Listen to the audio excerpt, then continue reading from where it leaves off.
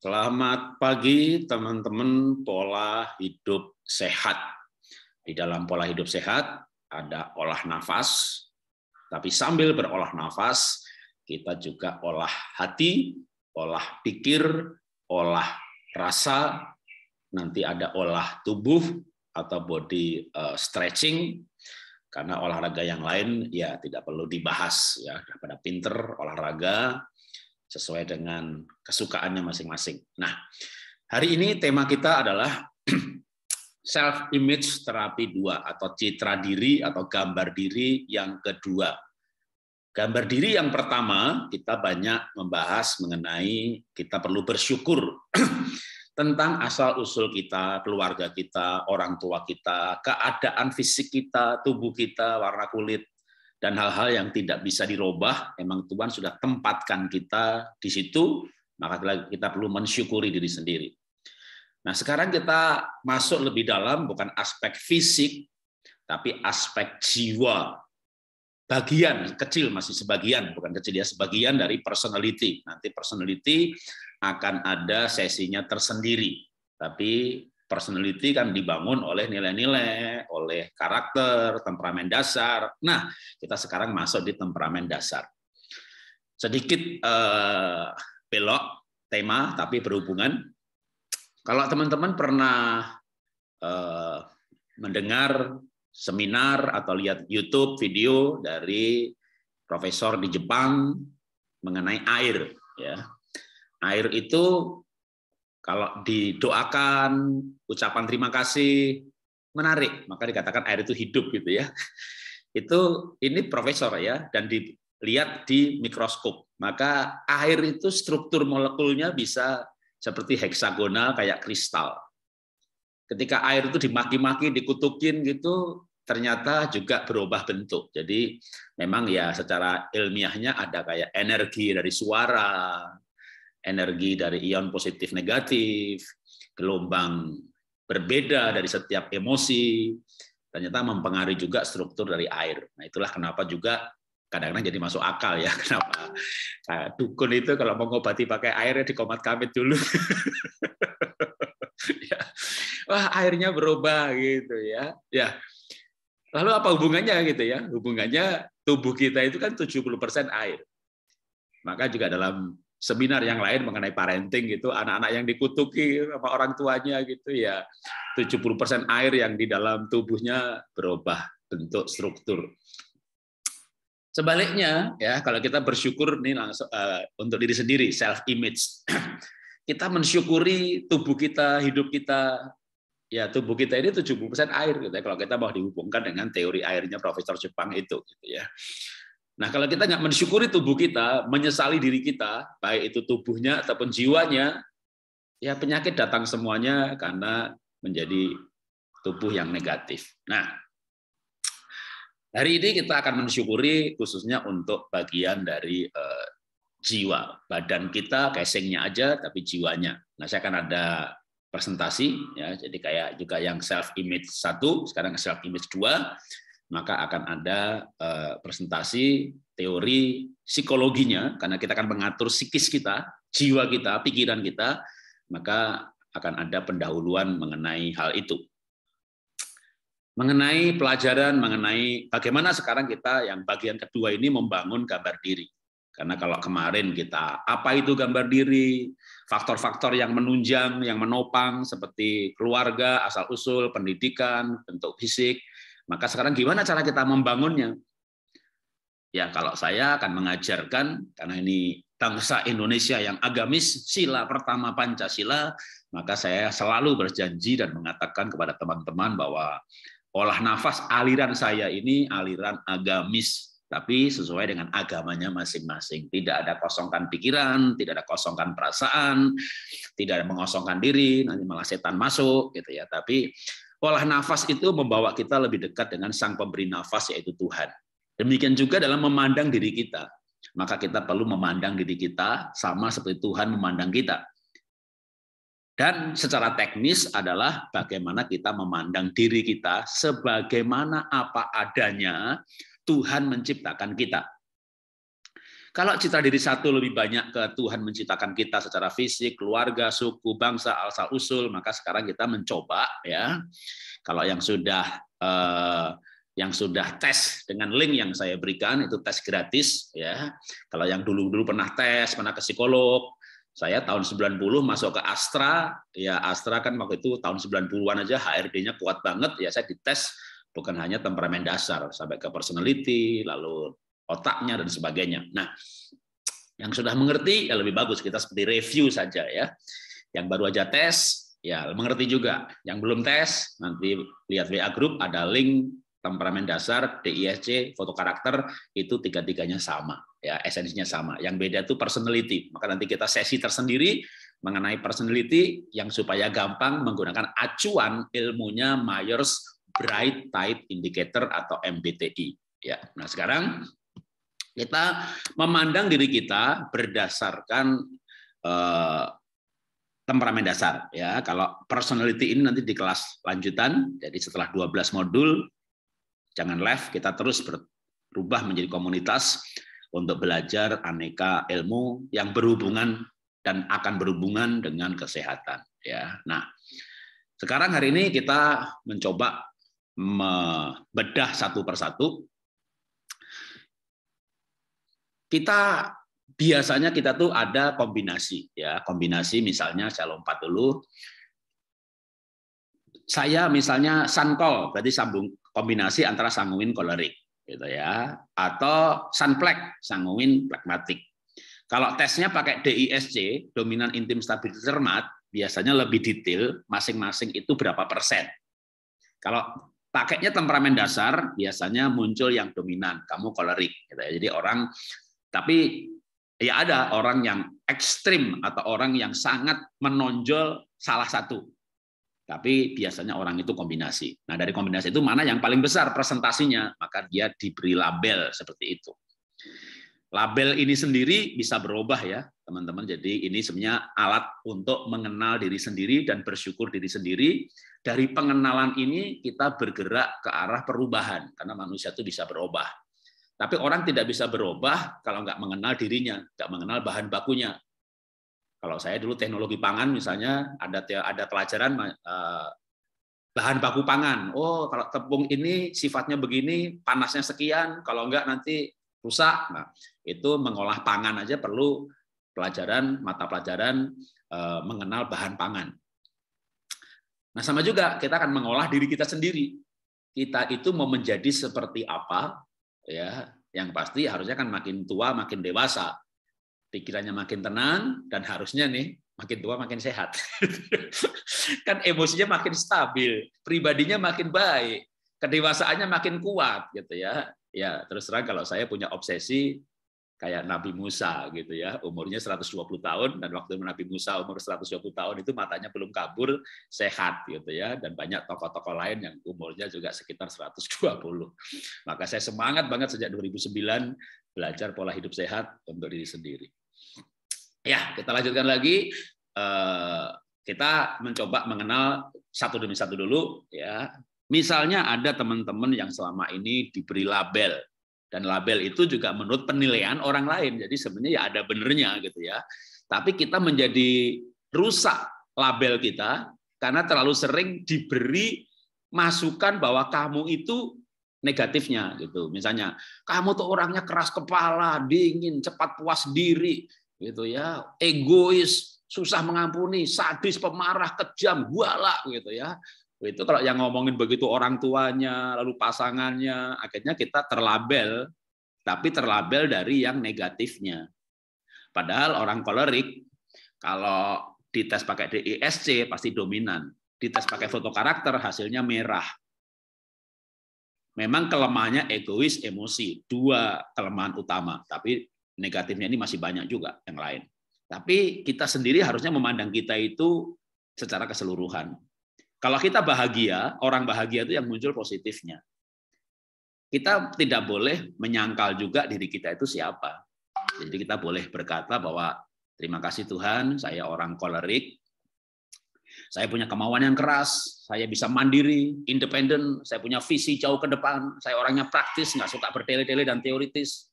Saya orangnya produktif, leadership kuat, saya bisa pimpin gitu ya. Nah, ini kan sisi positif yang kita sadari dan harus syukuri kalau kita orang yang berawal dari kolerik. Selanjutnya kalau misalnya kita orang dengan yang lain gitu ya. Ngomong jeleknya dulu deh gitu ya. Mungkin orang tua ngomong, "Kamu tuh pelupa. Apa sih susahnya? Barang hilang melulu, pegang barang jatuh." lupanya minta ampun, lupanya minta ampun. Aduh, dikit-dikit lupa gitu ya. Ya, nggak bisa rapi lagi, sembrono, sembarangan gitu ya. Eh, mau suka membesar-besarkan hiperbol, bohong lagi kamu ini gitu ya. Susah bedain antara bohong sama gaya bahasa hiperbol bagi orang sanguin. Dan orang bisa menyesal dengan diri sendiri, merasa salah diciptakan, kok aku nggak bisa rapi. Tunggu, tunggu, tunggu, tunggu. Hari ini kita mau bersyukur dengan diri kita bahwa di tengah-tengah kelemahan seperti itu kita orang yang ceria, banyak ide, lucu, ya, hangat, bersahabat, penuh belas kasihan, ya. Wah, suka memberi orang Jawa bilang weweh gitu ya. Banyak bicara kayak saya.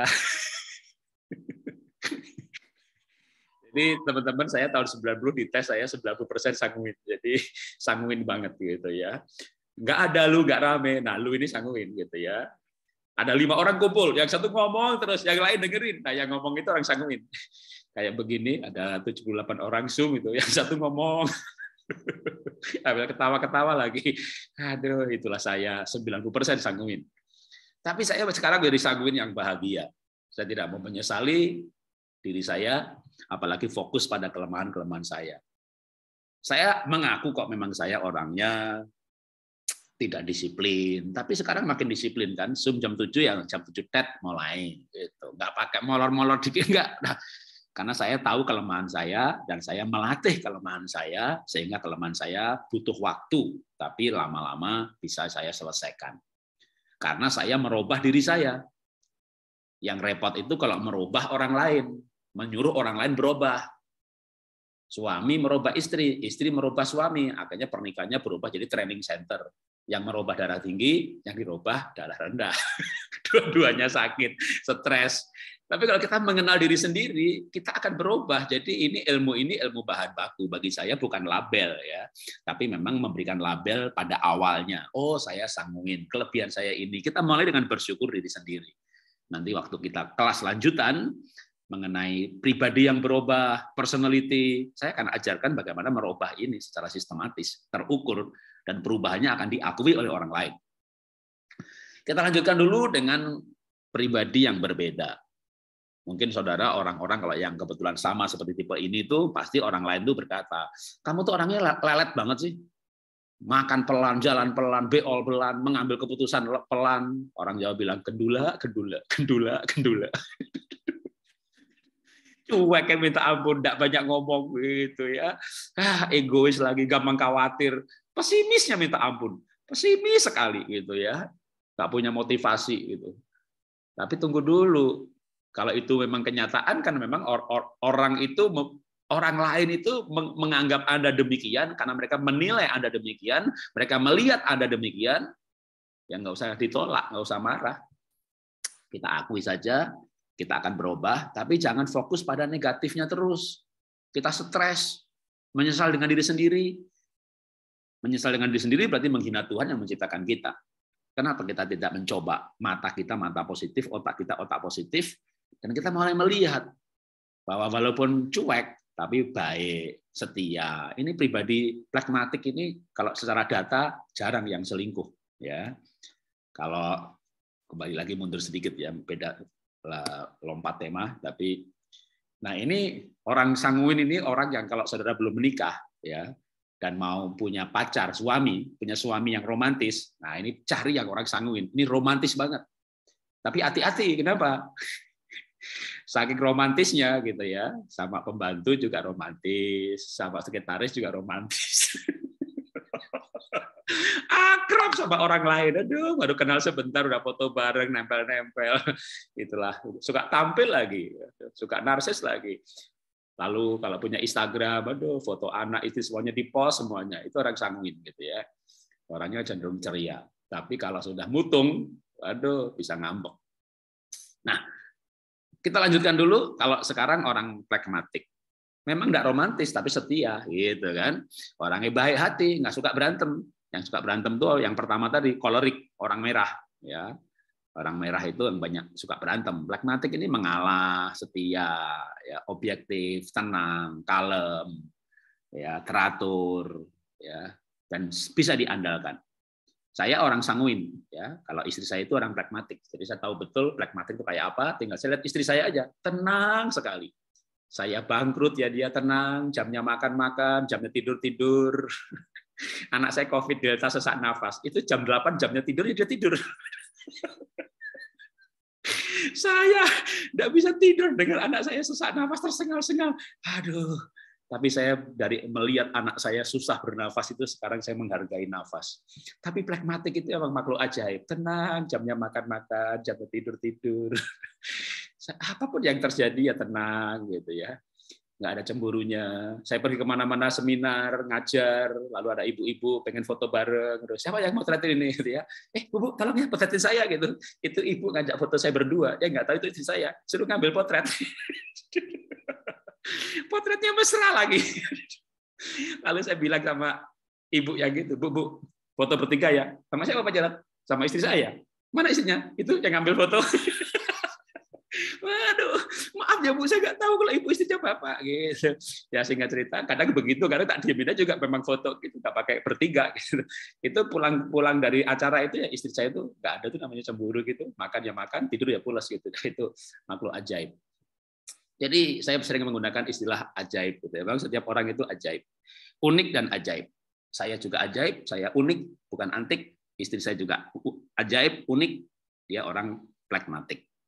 Anak saya tiga, satu sanguin, satu pragmatik, satu melankolik. Tidak ada yang kolerik. Nah ini, kalau Anda orang seperti ini, Anda bersyukur saja. Saya bersyukur, saya orang yang membawa damai, saya memang tidak kreatif, tapi saya setia, saya memang tidak banyak ide, tapi saya menyelesaikan semua pekerjaan dengan baik.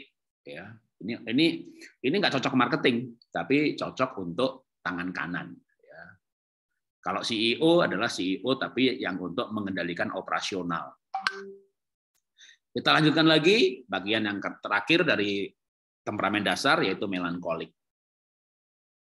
Jangan sakit hati, jangan rusak gambar diri, jangan memandang diri salah diciptakan. Kalau orang lain berkata, kamu tuh pemurung deh, di kamar lu nggak bisa bergaul. Ada tamu datang malah ngumpet gimana sih? Itu teman kamu datang itu gitu ya. Ini orang nggak banyak bicara, kamu terus pandai bicara gitu ya. Dia makin makin dituntut kelemahannya, dia makin merasa salah diciptakan. Kenapa aku nggak bisa bicara, malu, pemalu. Sensitif. Kamu tuh sensitif banget ya orangnya deh gitu. Kamu jadi orang jangan sensi sensi dong begitu ya. Nggak gaul pemurung sensitif. Akhirnya tambah jadi pendiam anak saya anak saya nomor satu seperti ini tapi jangan menyesali kalau saya sebagai orang tua saya tidak akan memberikan label anak saya negatif. Kepada anak saya nomor satu yang pendiam, pemurung, saya berikan dia, kamu tuh hebat sekali, kamu orangnya teliti, kamu orangnya tekun, kamu disiplin sekali, kamu bisa jadi juara kelas, dan dia betul-betul jadi juara kelas, kelas 1 SD sampai 3 SMP, menang ASEAN Scholarship, sekolah di Singapura sejak Sek 3, Sek 4, lalu junior college sampai kuliah di NUS 8 tahun, sekolah gratis, asrama gratis, bahkan tiap bulan dibayar 1.200 dolar. Karena saya tidak pernah mencela negatifnya, saya akui sisi positifnya, dia bahagia, bahkan akhirnya dia bisa berubah, sekarang menjadi pembicara. Anda bisa bayangin orang melankolik jadi pembicara, karena orang bisa berubah. Tapi untuk dia bisa berubah, dia harus bahagia. Orang bahagia berubah, lebih baik lagi. Orang tidak bahagia, negatifnya mengkristal. Jadi ini bukan label seumur hidup. Nanti dalam kelas personality, saya akan ajarkan bagaimana merubah diri sendiri, bagaimana merubah orang lain. Tapi kita tidak pernah bisa berubah kalau kita tidak menerimanya. Karena penerimaan itu membangun hubungan relasi. Jadi singkatnya, maka sebenarnya manusia itu nggak ada yang sempurna. Semuanya punya sisi negatif, tapi semuanya punya sisi positif. Tinggal kita mau bersikap apa terhadap diri sendiri dan juga bersikap apa terhadap orang lain. Tapi sikap kita terhadap orang lain juga akan mempengaruhi jiwa kita. Kita orang yang menuntut, karena misalnya kita melankolik yang teliti, lalu kita punya suami sanguin yang tidak teliti, cengenges-cengenges banyak bicara. Kamu tuh teliti, kamu tuh rapi, kamu tuh rapi terus marah terus. Sakit datang, penyakit datang ketika orang marah terus, menuntut terus. Kenapa suami yang tidak teliti tadi tapi banyak bicara? Udah suruh jualan aja, suruh marketing aja, suruh jadi uh, sales aja, duitnya banyak. Duitnya banyak, kita cari pembantu melankolik, pembantu yang merapikan gitu ya. Akhirnya hidup dalam keselarasan karena masing-masing hidup sesuai dengan positifnya masing-masing, negatifnya kalau nggak berubah pun dilengkapi. Bisa dilengkapi oleh diri kita atau dilengkapi dengan orang lain. Mungkin saya cerita sedikit soal diri saya. Saya orang yang pandai dagang, pandai bergaul, temannya banyak, pandai bicara. Karena pandai bicara, ya saya jadi pembicara. Sebelum pandemi, satu bulan saya bisa 30-an sesi ceramah. Kalau satu sesi sekitar 5 jutaan, udah banyak. Begitu pandemi, bukan turun. Karena biasanya orang Amerika panggil saya, Australia panggil saya, mereka sediakan tiket, sediakan hotel. Begitu pandemi lewat Zoom. Mereka tidak perlu menyediakan tiket. Maka sejak pandemi itu satu bulan saya bisa rata-rata 40 sampai 50 sesi sampai hari ini. Kalau satu sesi setelah pandemi saya turunkan tarifnya sekitar dua setengah juta, ya dua setengah juta kali 50 aja saya dapat 100 jutaan gitu ya eh, untuk dari ceramah dan tiap bulan gonta ganti tema. Makanya kadang saya nggak jawab WA pribadi. Saya harus mempersiapkan semua ceramah saya yang rata-rata 40 sesi per bulan. Anda bisa bayangin, ya. Karena saya orang yang suka bicara, tapi sukanya ini hobinya jadi duit, gitu kan. Tapi saya orangnya nggak rapi. Saya bilang sama istri, aduh, taruh anduk di jemuran, taruh sendal yang lurus. Jangan saya dah, saya pusing kalau merapikan. Kalau ngomong malah pusingnya hilang. Daripada saya merapikan rumah, saya stres. Saya nggak bisa cari duit. Jadi akhirnya kita sepakat saling melengkapi. Saya bilang sama istri saya, saya orangnya kan pada cari duit, tapi aku nggak bisa pegang uang karena orang sanguin itu nggak bisa pegang uang. Gampang kasihan, suka memberi, ya kan? Jadi gini deh, aku cari uang, kamu yang pegang ya, gitu. Wah istri saya tak suruh pegang uang, seneng dia, kinjelong kinjelong gitu. Tapi kita juga saling melengkapi ya. Aku buka laci, kamu yang nutup. Karena aku buka laci, ambil sendok, lupa nutup. Buka laci, ambil gunting, lupa nutup. Buka lemari, ambil baju, lupa nutup. Orang sanguin itu punya talenta membuka. Dan apa yang terbuka tidak bisa tertutup lagi. Jadi ketika kita saling menuntut, berantem, pernikahan kacau. Pernikahan kacau, pikiran kacau, kesehatan kacau loh. Benar. Menurut saya salah satu aspek yang membuat saya umur 60 tahun sekarang ini ya umpan belum belum banyak, nggak pakai disemir, muka kayak orang umur 45 dan memang dites usianya 45. Salah satu faktornya ya pernikahan kami bahagia. Kenapa bahagia? Karena kami mengenal keunikan ini. Bahkan kalau saya agak ekstrim ya dalam arti saya pacaran udah tes ini. Saya pacaran sudah belajar gambar diri. Tahun 94 9 eh tahun 85 86 kan ada ini kan ilmu lama. Jadi saya waktu pacaran itu tes sehingga saya tahu saya sanguin dia plekmatik. Oh, dia kelemahannya ini, kelebihannya ini, potensi konfliknya ini. Sehingga kita menikah 32 tahun. Anak saya waktu menikah tiga tahun lalu, sebelum menikah itu anak saya tanya begini, Papa Mama pernah berantem? Kenapa nanya begitu? Ya, aku belum pernah lihat. Anda bisa bayangin, tiga anak saya, ya saya anak saya lahir tahun ketiga. Memang sebelum anak saya lahir kita pernah bertengkar. Tapi sejak anak saya lahir dan punya daya ingat, dia belum pernah melihat kami bertengkar. Kenapa? Apakah kami sempurna? Enggak. Karena kami bisa menerima orang lain. Jadi sekali lagi WA grup kita ini pola hidup sehat. Bukan hanya olah nafas. Jadi kalau Anda merasa dapat pelajaran, kita akan lanjutkan terus sampai ke hidup yang sehat termasuk di dalam nanti ada namanya relationship healing.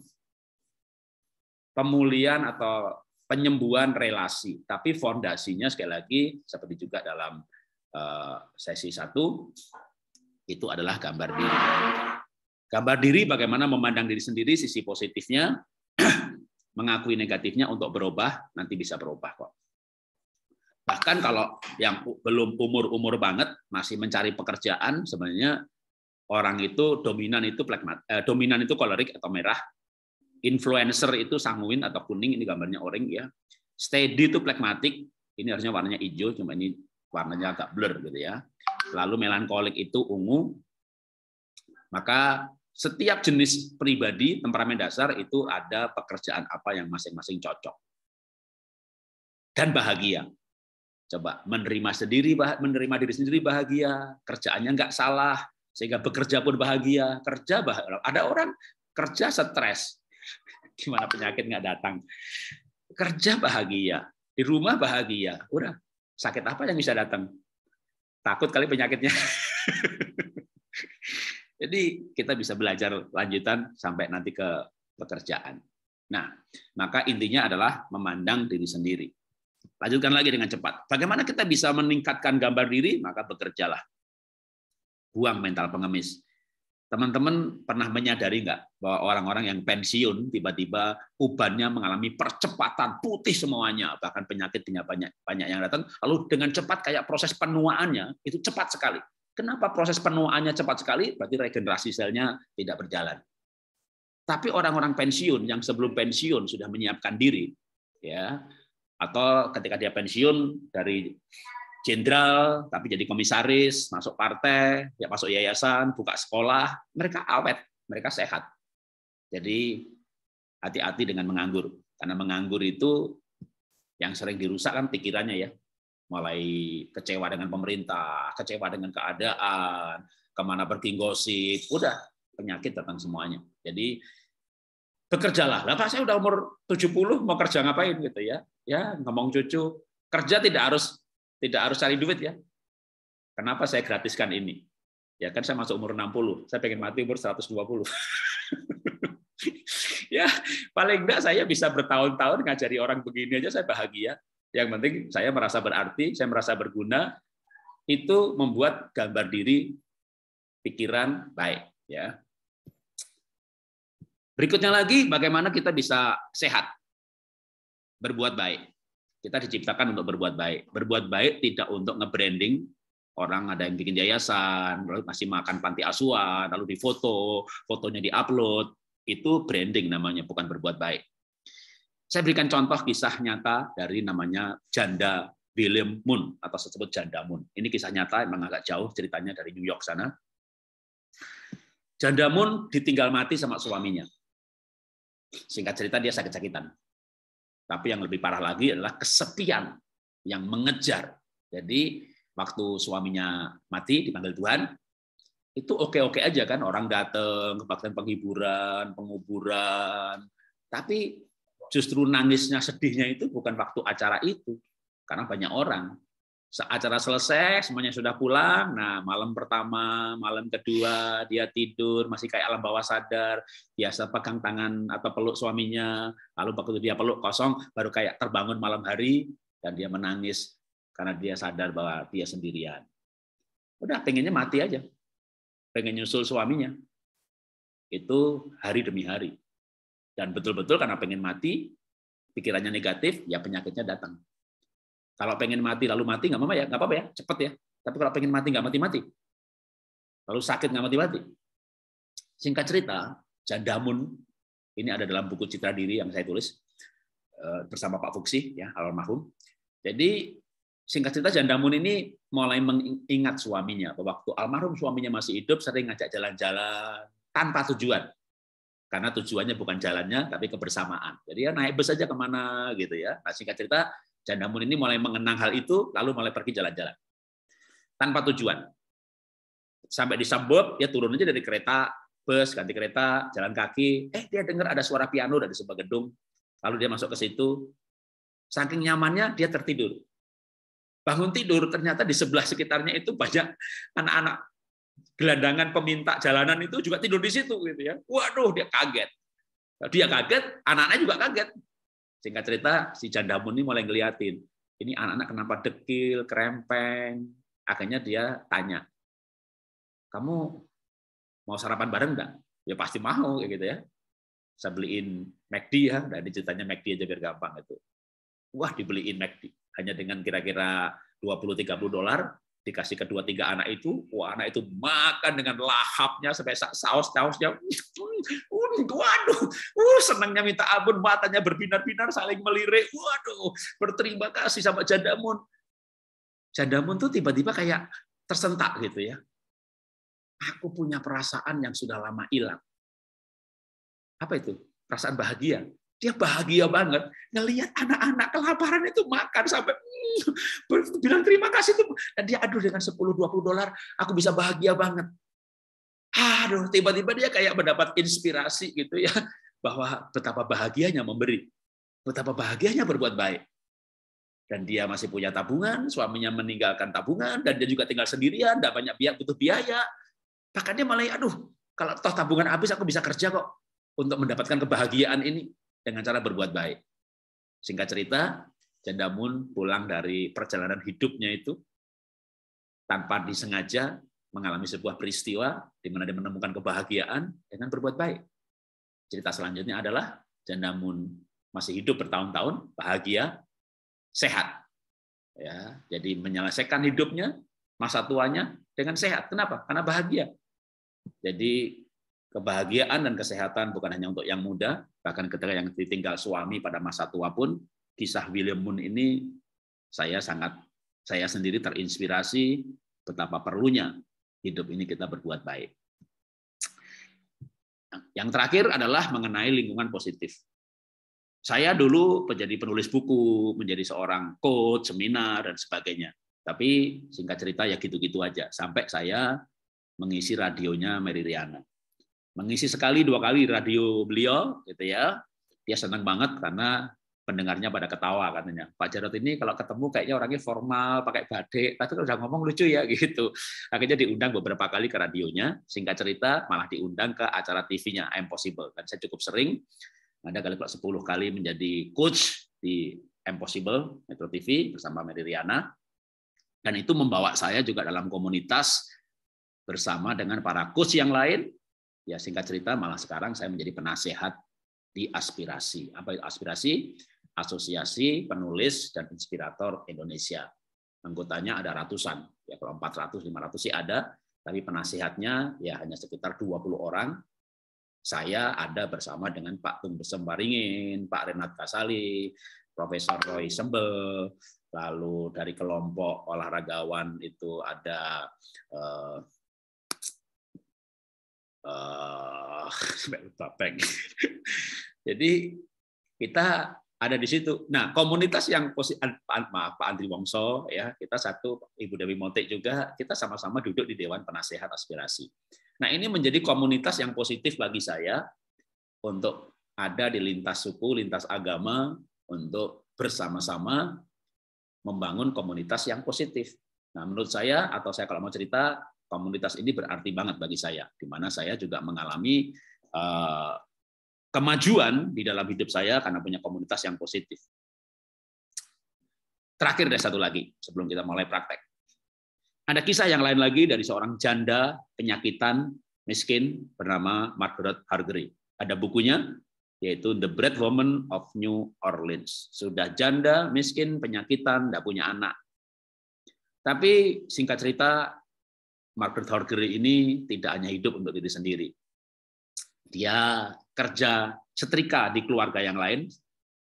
Dia bukan cuma melayani satu keluarga, kalau untuk hidup diri sendiri dia cukup kerja di satu keluarga, tapi dia kerja di pada dua keluarga, nggak nginep ya datang dan pergi, supaya dia bisa memberi roti kepada anak-anak panti asuhan.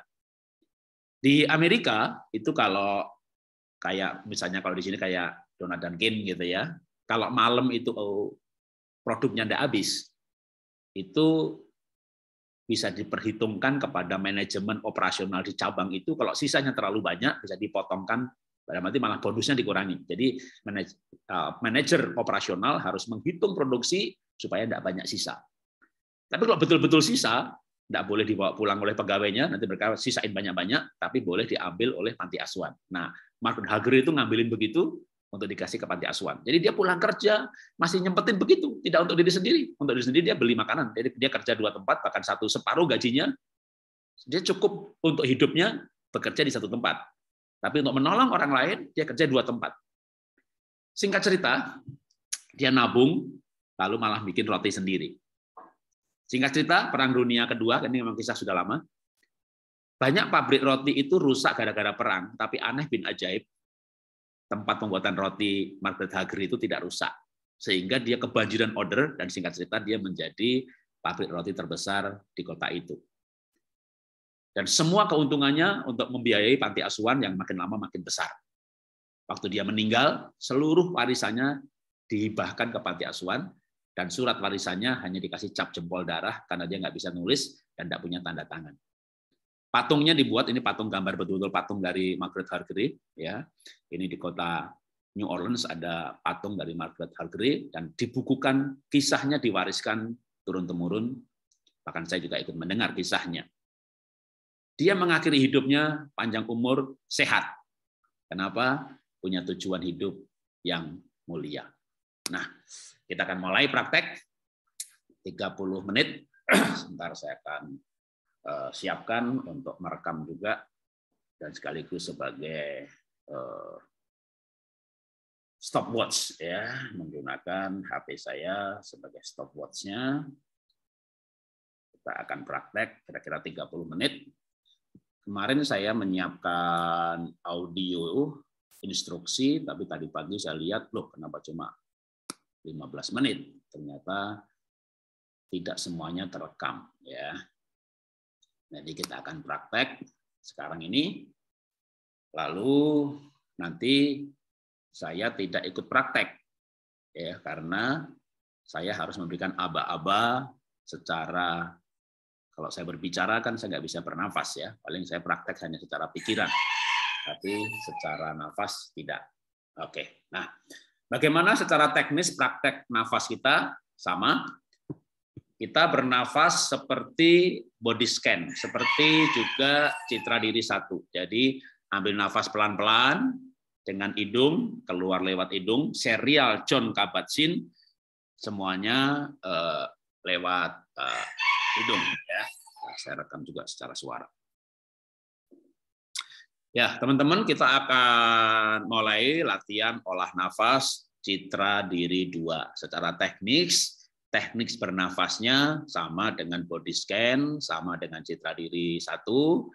Tarik nafas 5 sampai 10 sampai 12 kalau mampu 12 detik. Lepaskan 5 sampai 12 detik.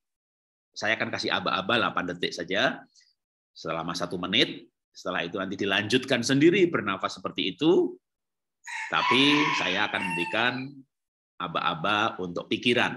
Ya, kalau saya lebih menyenang, lebih senang memberikan istilah, ya kita sebenarnya akan berdoa, ya berdoa ucapan syukur. Nah, tapi kita akan mulai lima menit pertama dengan body scan dulu. Ya, memang harusnya setiap modul diawali dengan body scan, cuma cepat. Kalau dulu 30 menit, hampir 20 menit, 30 menit khusus untuk body scan, maka sekarang hanya lima menit kita mendengarkan laporan dari organ-organ tubuh kita. Siapa tahu mau memberikan laporan nyaman, adem, tapi mungkin ada laporan keringingan, kesemutan.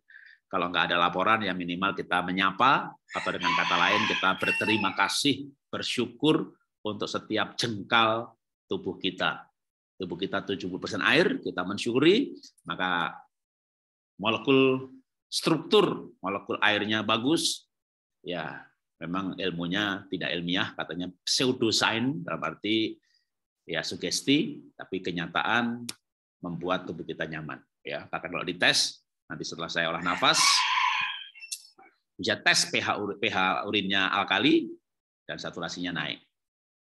Metode 3, 4, 5, 6, 7 tidak harus pasang oximeter, tapi boleh sebelumnya mau dites, sesudahnya dites boleh. ya. Jadi kita nggak fokus pada perasaan jari yang malah uh, kejepit.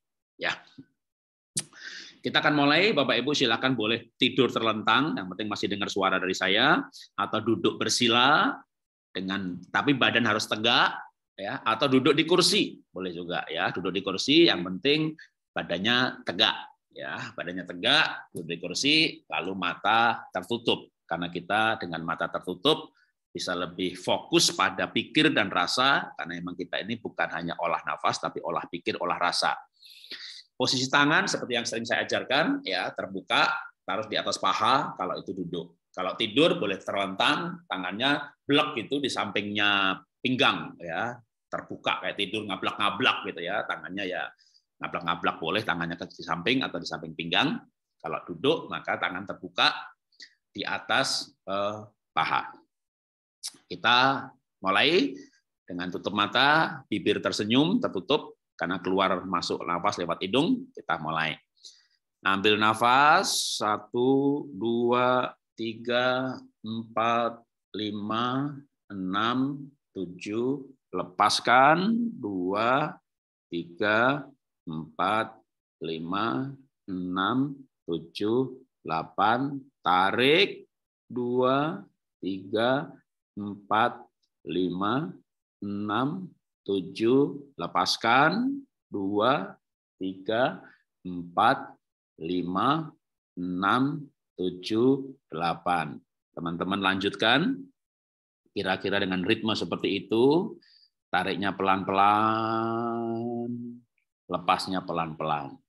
Beda dengan metode Wim Hof yang tarik dengan kuat, hembuskan dengan kuat, sampai saturasi dengan cepat naik, dan juga pH-nya naik. Tapi John Kabat-Zinn dalam kali ini adalah untuk gambar diri, kita lebih fokus dengan pikir dan rasa. Sambil mengambil nafas kehidupan, nafas dari Tuhan, kita nikmati sensasi oksigen mengalir, ujung hidung kadang bisa terasa hangat, kita membayangkan dan merasakan oksigen masuk ke kerongkongan, paru-paru, pindah ke jantung, oksigen yang sudah di sel darah ataupun terlarut dalam darah dari paru-paru pindah ke jantung. Nikmati sensasi, rasa, dan bayangkan darah mengalir dari jantung ke arteri sampai ke seluruh ujung-ujung pembuluh darah membawa oksigen, suasana alkali, saturasi penuh, bahkan juga membawa nutrisi, antioksidan, dan lain-lainnya. Nikmati nafas dari Tuhan, percaya bahwa nafas itu punya Tuhan, dan lewat nafas dari Tuhan ini kita disembuhkan, kita mengalami regenerasi sel, darah dari ujung-ujung sel mengambil, mengangkut kotoran, CO2, bawa lagi ke jantung dipompa ke paru-paru dan kita buang hembuskan. Kita menghembuskan CO2, kita buang pikiran jelek, sambil bernafas, kita membayangkan menarik nafas kehidupan. Waktu kita membuang nafas, kita buang perasaan negatif, mengeluh dengan diri sendiri. Kita lanjutkan dengan cepat, body scan-nya tetap nafasnya pelan-pelan. Tapi body scan-nya kita boleh membayangkan secara cepat, bisa kiri kanan serentak dari ujung jari. Kita berterima kasih Tuhan untuk ujung jari. Terima kasih Tuhan buat telapak kaki, pergelangan dan eh, tangan eh, kaki untuk betis, untuk tempurung lutut, paha, pangkal paha. Kami bersyukur untuk kaki kami, bahkan termasuk kalau kami punya kaki yang bermasalah, regenerasi sel terjadi. Kami bersyukur ya Tuhan untuk tulang duduk, pantat, pinggang bawah, pinggang atas, belikat, punggung. Saya mengucap syukur Tuhan buat pundak kami, lengan atas, sikut, lengan bawah, telapak tangan, jari-jari. Otak kita ajaib, saraf kita ajaib. Kita mendengar kata telapak tangan, kita dengan cepat membayangkan telapak tangan. Bahkan kadang ada yang telapak tangannya terasa seperti aliran oksigen atau kesemutan yang bergerak tapi nyaman dan dingin. Memang organ kita tuh ajaib sekali. Kita tetap tutup mata, tapi kalau kita ingat, kalau kita buka mata dan kita melihat ke arah mana otak kita pengen melihat, mata kita langsung fokus, autofokusnya dalam hitungan nggak sampai satu detik. Begitu cepatnya saraf bekerja, berkoordinasi dan sinkron dengan organ-organ tubuh. Ambil nafas dalam-dalam, ambil nafas kehidupan, dan kita bersyukur untuk otak kita yang luar biasa, untuk saraf-saraf bagian otak, baik otak depan, otak tengah, otak kiri kanan, otak belakang, talamus, hipokampus, amigdala, kortek di leher dan keluar ke tulang belakang menyuruh menyebar ke seluruh tubuh dari otak saraf beredar. Kita berterima kasih untuk saluran pencernaan dari mulut, lidah, tenggorokan, lambung. Usus halus, usus 12 jari, usus besar, kolon, anus. Terima kasih Tuhan buat pankreas, ginjal, empedu, paru-paru, jantung, kelenjar-kelenjar endokrin, yang mengatur hormon uh, luar biasa. Terima kasih Tuhan untuk panca indera, penglihatan, penciuman, pendengaran, kulit. Terima kasih Tuhan untuk semua yang Tuhan ciptakan dalam tubuh kami. Ambil nafas dalam-dalam, dan lepaskan terus dengan pola nafas seperti itu dan kita akan mulai berdoa bersyukur untuk nyawa pribadi jiwa kita. Kalau tadi kita sudah menyapa dan bersyukur untuk setiap jengkal tubuh kita sekarang kita akan mengatur pikiran kita. Olah pikir pikiran terhadap diri sendiri kita mengolah pandangan diri kita pandangan kita terhadap diri sendiri. Saya akan menyebut sebuah ciri-ciri. Kalau ciri-ciri itu adalah bapak dan ibu, bapak ibu bersyukur untuk hal itu, bersyukur untuk diri sendiri. Sambil bernafas, kalau saya menyebutkan ciri-ciri, dan itu bukan saya. Tapi mungkin bapak ibu teman-teman mulai sadar, itu pasangan saya, itu anak saya, itu mantu saya. Maka saatnya kita mengatur, bukan hanya memandang diri sendiri, tapi kita mengatur otak kita memandang orang lain. Dan kita bersyukur untuk sisi positif pasangan kita, anak kita, besan kita, menantu kita. Ambil nafas kehidupan, buang pikiran negatif. Saya akan mengajak kita semuanya berdoa kepada Tuhan, dan dalam hati saudara adalah Tuhan sesuai dengan iman, kepercayaan agama masing-masing. Tuhan, kami bersyukur Tuhan ciptakan unik. Walaupun kadang-kadang orang lain memberikan kami label bahwa kami sadis, kami kejam, kami egois, kami kasar, kami orang yang tidak bisa minta maaf, kami sombong, kami susah untuk mengampuni, susah minta maaf. Mereka menilai seperti itu, tapi hari ini kami sebenarnya menyadari bahwa ada benarnya. Tapi kami tidak nyaman dengan penilaian dan penghakiman seperti itu. Hari ini kami mencoba untuk melihat sisi yang lain, sekalipun hal-hal itu terasa ada benarnya. Tapi kami tidak akan menyesali diri kami. Hari ini kami bersyukur bahwa di balik itu kami punya temperamen, karakter yang kuat kami bersyukur Tuhan, saya orang yang punya drive kuat, punya kemauan yang keras, sehingga menjadi orang yang bisa diandalkan untuk mencapai target pada waktunya. Orang yang praktis, punya orang yang punya impian yang besar. Kalau sekarang kami tidak produktif karena pernah mengalami peristiwa-peristiwa traumatis, tapi kami mau bangkit untuk kembali produktif seperti pada masa-masa kebahagiaan kami. Hari ini kami tahu Tuhan bahwa kami disebut orang kolerik. Secara kecenderungan perilaku kami orang dominan dan secara foto karakter kami orang merah. Kami bersyukur dengan diri kami karena kami tahu dengan temperamen dasar seperti ini ada sebuah tugas, karya, peran unik yang Tuhan sediakan bagi kami untuk kami berperan di dunia ini dan peran-peran itu membutuhkan sifat-sifat seperti yang saya miliki. Kami bersyukur kalau hal-hal ini ada pada pasangan kami, pada anak kami. Kami mau menerima mereka apa adanya dan memberi mereka kesempatan, memberikan mendorong mereka bekerja pada bidang yang sesuai dan perilaku tuntutan yang sesuai juga. Kami mengucap syukur Tuhan.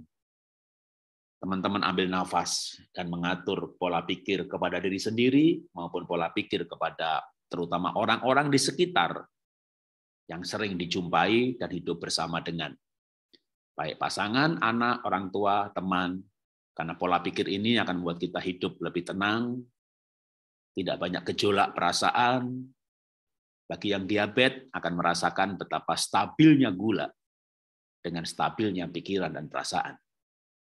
Saya orang diabetes, sejak 2009 400 gulanya, dan saya tahu betul bagaimana mengendalikan yang orang sebut dengan glukogenesis, di mana banyak orang sudah diet, sudah olahraga, sudah olah nafas, tapi gulanya bergejolak.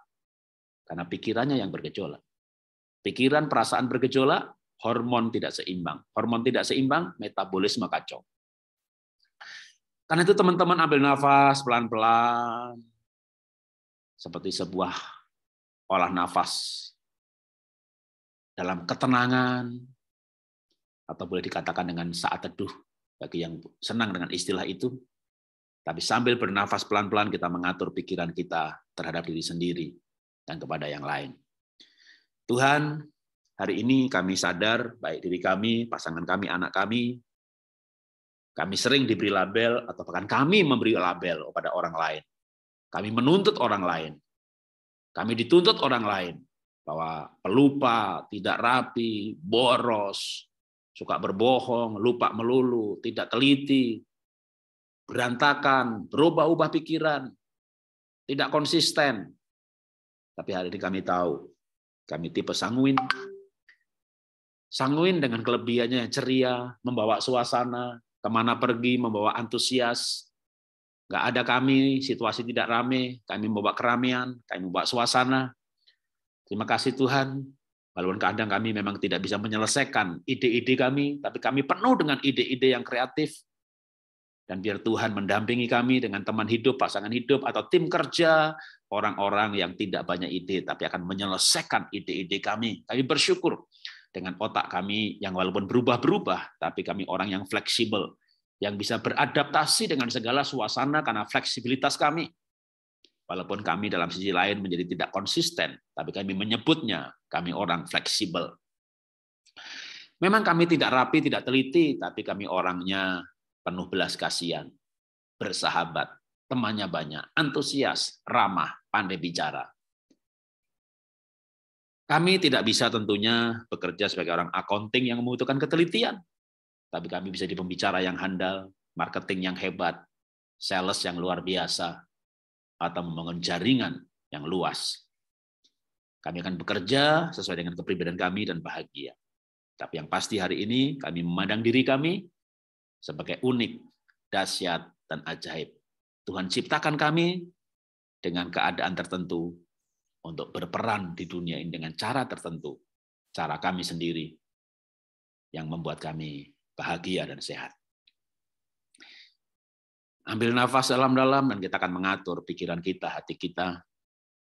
Terima kasih Tuhan. Kami sempat mengeluh dengan diri kami sendiri, kenapa kami tidak ceria seperti orang lain, kami kadang juga sempat frustasi, apalagi ditambah dengan penilaian orang-orang lain bahwa kami lamban, kami cuek, kami males, kami tidak kreatif, kami orangnya tidak peduli dengan orang lain. Tapi hari ini kami tahu, kami tipe plekmatik. Secara foto karakter kami hijau, dan secara kecenderungan perilaku atau DASC kami stabil. Kami tidak mau fokus dengan kelemahan kami, kami akan mengubah kelemahan kami. Pelan-pelan dengan bimbingan teman-teman dan komunitas. Sejalan dengan paradigma-paradigma baru dan pelajaran-pelajaran hidup, tapi kami akan mulai hari ini dengan bersyukur dengan diri sendiri. Kami tidak menyangkal label-label dari teman-teman, tapi hari ini kami akan fokus pada label positif diri kami, bahwa sebagai orang pragmatik, orang hijau, atau orang stabil, kami stabil. Kami tenang, kami dalam, kalem, kami membawa damai, kami baik hati. Kami jujur tidak kreatif, tapi kami orang yang setia, yang bisa dipercaya, bisa diandalkan. Kami akan tuntas mengerjakan semua tanggung hal yang menjadi tanggung jawab kami. Terima kasih Tuhan untuk diri kami, seorang pragmatik. Atau kami bersyukur punya istri, punya anak, pragmatik. Saya tidak akan membanding-bandingkan dengan yang lain dan menuntut mereka menjadi orang lain, menjadi pribadi yang lain. Tapi kami mulai mengarahkan mereka menjadi dirinya sendiri, karena setiap pribadi ada tempatnya di dunia ini. Setiap jenis pribadi ada pekerjaan yang Tuhan sediakan untuk mereka yang cocok, efisien, produktif, dan bahagia. Kami tidak akan mengatur masa depan anak kami. Kami akan mengajar anak kami menemukan dirinya dan menentukan sendiri masa depannya berdasarkan pengenalan akan dirinya. Tugas kami orang tua adalah membawa anak pada pengenalan diri sendiri. Terima kasih Tuhan. Ambil nafas dalam-dalam. Kita atur pikiran kita kepada diri sendiri dan atur pikiran kita kepada yang lain. Kalau diri kita atau orang lain tersebut adalah pemurung, suka menyendiri, nggak suka gaul, lebih senang suka baca, suka di kamar, sensitif, berperasaan, sering menuntut. Tapi hari ini kami tahu bahwa itu karena kami orang melankolik. Orang yang cermat dan teliti, secara foto karakter kami biru ungu, secara kecenderungan perilaku DISC kami tipe cermat.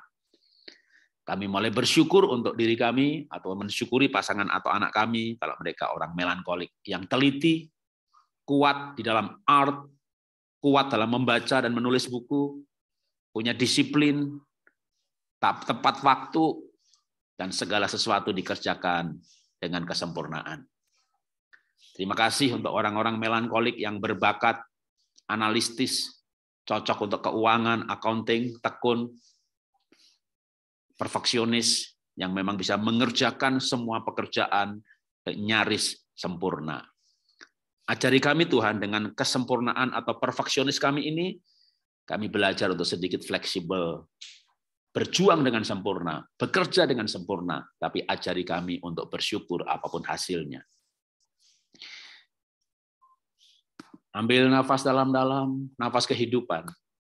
Buang pikiran negatif, dan kita memandang bahwa setiap pribadi punya kelemahan, setiap pribadi punya kelebihan. Kita mensyukuri kelebihan diri kita. Kalau kita melihat pasangan punya kelemahan, ajaib kita menikah dengan orang di mana kelemahan pasangan itu kelebihan kita. Kalau Anda berkata bahwa pasangan Anda tidak rapi, maka Anda orang yang rapi. Kalau Anda berkata pasangan saya nggak bisa pegang uang, Anda pandai pegang uang. Percaya tidak percaya dunia ini seperti ada yang mengatur dan saya percaya Tuhan yang mengatur. Orang menikah dengan orang lain. Di mana kelemahan pasangannya adalah kekuatan dirinya. Kalau kita memandang pasangan kita sebagai objek yang harus kita lengkapi, kita berperan melengkapi, kita dibutuhkan. Kita dibutuhkan, kita bahagia. Kalau kita melengkapi kelemahan pasangan, maka pasangan akan bereaksi serupa. Dia melihat kelemahan kita dan akan melengkapinya. Sehingga pernikahan menjadi dua pribadi yang saling membutuhkan dan saling melengkapi. Itulah sorganya dunia ini. Tapi ketika pernikahan terdiri dari orang-orang yang tidak memahami dirinya sendiri dan juga tidak memahami diri orang lain, menuntut orang lain menjadi sama seperti dirinya, maka pernikahan menjadi dua makhluk hidup yang tinggal dalam satu rumah dan saling menuntut. Relasinya rusak, pikirannya rusak, jiwanya rusak. Maaf, badannya pun akan rusak. Hormonnya tergoncang. Ambil nafas dalam-dalam. Tuhan, pada masa tua kami, kami belajar hidup Tuhan. Kami mengambil nafas dari Tuhan. Kami mengambil nafas kehidupan dari Tuhan dan ajari kami hidup Tuhan untuk menghargai setiap ciptaan Tuhan, bahkan menghargai diri kami sendiri yang Tuhan ciptakan. Ampuni kami kalau kami mengeluh dengan diri kami, tanpa sadar kami menghina Tuhan yang menciptakan kami. Tapi kami mau bersyukur dengan diri kami, mensyukuri pasangan kami dan anak-anak kami yang Tuhan ciptakan tidak sempurna, tapi punya kelebihan. Nah, jadi kami memandang diri kami sebagai unik, dahsyat, dan ajaib, dan memandang pasangan kami juga demikian. Kami menyadari kelemahan pasangan kami, tapi kami menyadari bahwa ternyata kelemahan pasangan kami adalah kelebihan kami. Kenapa kami tidak saling melengkapi saja? Ambil nafas dalam-dalam dan mengatur nafas, karena nafas dari Tuhan, nafas kita atur. Tapi sembari mengatur nafas, kita mengatur hidup, mengatur pola pikir, Tuhan terima kasih untuk cerita-cerita singkat yang kami dengar. Kami tidak mau pensiun dan penyakitan. Kami mau pensiun yang sehat dan bahagia, dan kami akan bekerja. Apa pun yang bisa kami lakukan, kami akan bekerja. Baik menghasilkan uang ataupun tidak menghasilkan uang, bukan itu masalahnya. Tapi kami mau hidup berarti dan berguna.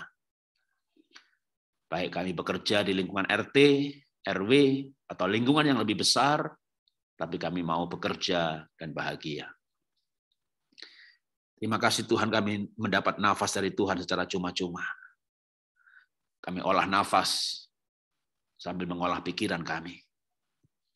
Terima kasih Tuhan untuk cerita singkat hari ini mengenai Jandamun yang larut dalam kesedihan karena ditinggal suaminya. Bahkan mulai berpikir lebih baik mati, menyusul suaminya, daripada kesepian dan hidup tidak berguna. Jandamun menemukan sebuah nilai hidup bahwa berbuat baik itu memberi kebahagiaan. Berbuat baik tidak perlu kaya dan berbuat baik tidak perlu modal. Karena kita bisa berbuat baik dengan memberikan orang lain nyebrang duluan. Kita bisa berbuat baik dalam sebuah antrian, kita melihat orang tua, orang hamil, bawa anak untuk maju depan kita. Kita bisa berbuat baik Ketika saya tinggal di sebuah komplek, kami mengajak teman-teman di komplek untuk bekerja bakti, tidak perlu uang, hanya butuh kemauan. Sampai komplek kami semuanya semangat memelihara lingkungan, dan sekarang lingkungan kami Kasuari, 6, 6 tahun berturut-turut menjadi juara satu klaster terbaik di Bintaro Jaya. Kita tidak usah mengeluh dengan lingkungan, kita bisa berbuat baik dengan lingkungan dan menggerakkan lingkungan. Saya mulai dengan RT saya, RW saya, dan seterusnya. Tapi yang pasti, dengan berbuat baik, kita hidup seperti rencana Tuhan menciptakan kita untuk sesama manusia, sesama anak bangsa, apa pun suku dan agamanya. Kenapa kita tidak mencoba untuk berbuat baik? Iman kita berbeda tentu. Masing-masing harus radikal dengan imannya. Harus yakin bahwa agamanya yang paling benar. Itu iman. Tetapi berbuat baik, hal yang berbeda. Kita berbuat baik dengan orang-orang yang berbeda iman. Kita menata pikiran. Kita menata pikiran, kita menata pola pikir bahwa kita perlu berbuat baik terhadap sesama anak bangsa. Ada kebahagiaan dalam perbuatan baik yang lebih ketika Anda berbuat baik kepada kelompok yang lain. Anda berbuat baik kepada keluarga, kebahagiaannya berbeda ketika Anda berbuat baik dengan tetangga. Anda berbuat baik dengan satu agama, itu biasa, ada rasa yang berbeda pula, tapi Anda berbuat baik kepada orang yang berbeda agama tanpa maksud memberitakan agama, tanpa maksud apa-apa. Anda akan punya perasaan yang berbeda. Dan kita kumpulkan semua perasaan-perasaan bahagia karena kita berbuat baik. Nikmati kehidupan yang berbeda dan kesehatan yang berbeda. Ambil nafas dalam-dalam dari Tuhan. Terima kasih Tuhan untuk nafas gratis dari Tuhan. Kami mengolah nafas hari ini sambil mengolah pikiran kami.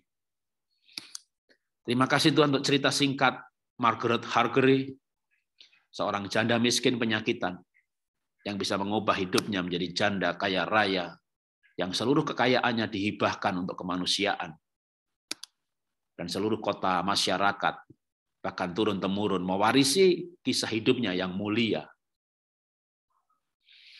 Kita di penghujung olah nafas kita tanpa terasa, ambil nafas dalam-dalam, lepaskan pelan-pelan. Bapak Ibu seperti berdoa secara pribadi kepada Tuhannya masing-masing, agamanya masing-masing. Tapi kita menota pikiran kita seperti sebuah saat teduh untuk menjawab beberapa pertanyaan. Kalau nafas kita berhenti, apakah kita dikenang sebagai orang yang mulia? Kalau nafas kita dicabut sama sang pemberi nafas, apakah yang orang-orang kenang mengenai hidup kita? Apa yang diceritakan oleh menantu-menantu kita sambil berbisik-bisik di tempat yang lain? Saat kita berbaring dalam kotak 1-2 meter, apa yang dibicarakan di belakang tentang kita? Selagi kita masih bernafas, berarti sebuah kesempatan untuk mengukir sejarah ke depan. Memang dalam olah nafas kita belajar untuk melupakan masa lalu karena itu itu sejarah. Tidak berpikir dulu masa depan karena masih misteri. Dalam berbagai teknik olah nafas kita diajarkan untuk hidup dalam kekinian, kesusahan hari ini cukuplah. Tetapi juga lewat olah nafas, kita belajar kekinian. Hari ini adalah hari sejarah. Hari ini adalah tonggak kehidupan. Di mana kita menjawab pertanyaan, saya hidup untuk apa?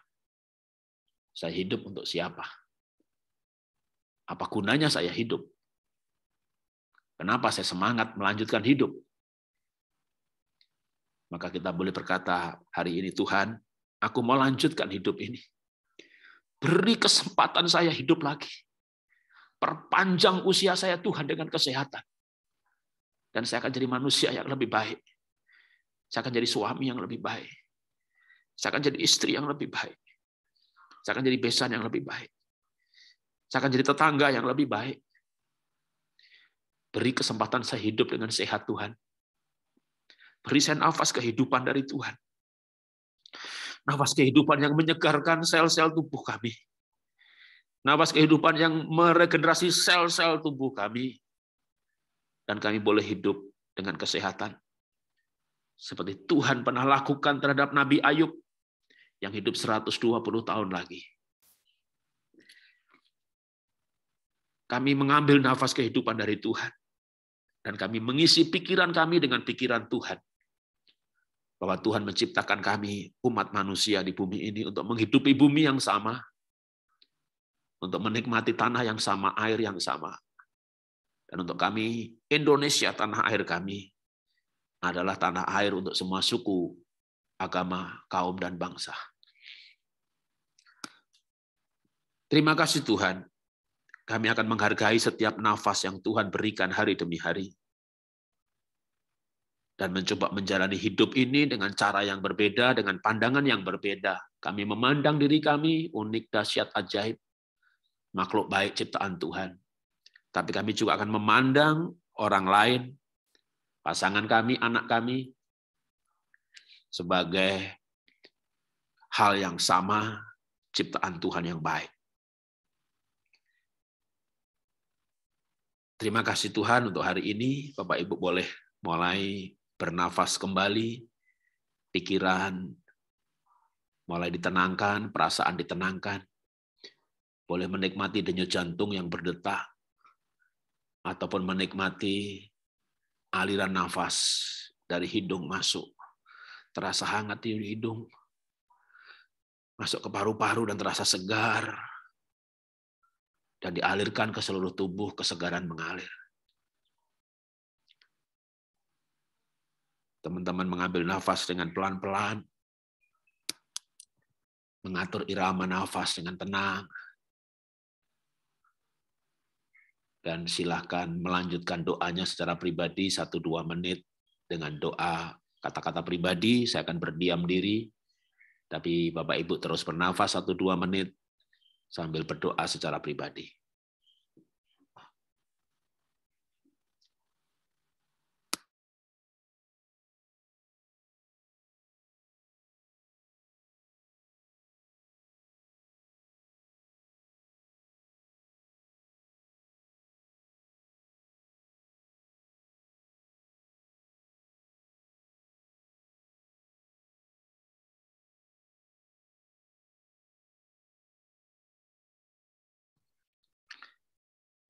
Kita memasuki masa relaksasi. Kembali ambil nafas pelan-pelan, lepas pelan-pelan, dan boleh mulai relaksasi dengan cara bisa menggerak-gerakkan jari atau jempol kaki, jari kaki digerak-gerakkan, telapak tangannya boleh digerak-gerakkan. Kalau yang bersila boleh mulai diselonjorkan, yang tidur terlentang, telapak kaki bisa digerakkan seperti wiper ke kiri ke kanan. Boleh mulai jari-jarinya seperti meremas-ramas atau mengipas-ngipaskan tangan.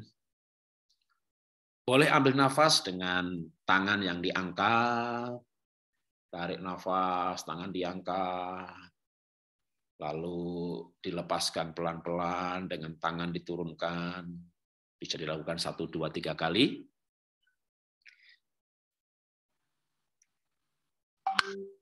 Dan kita akan mengakhiri uh, olah nafas kita. ya boleh buka mata juga boleh pelan-pelan karena kadang-kadang kalau tutup mata sampai 30 menit waktu dibuka sering kayak agak gelap dan kita uh, selesai. Terima kasih.